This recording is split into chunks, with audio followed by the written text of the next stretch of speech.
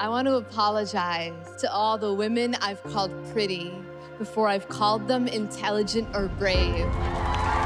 Not because I don't think you're pretty, but because I realize that you are so much more than that.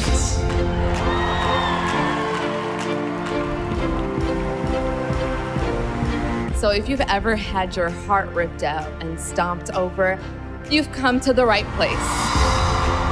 I would scrub the self-hate off the bone till it exposed love.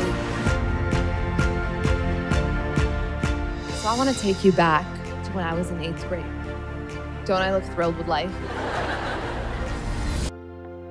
They convinced me I only had a few good years left. They can keep their lies. For I have just gotten started. I feel as though I just left the womb. My 20s are the warm up for what I'm really about to do.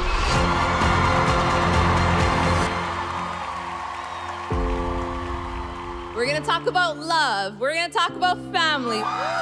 And I even have a four minute poem about an orgasm. Hi, Mom.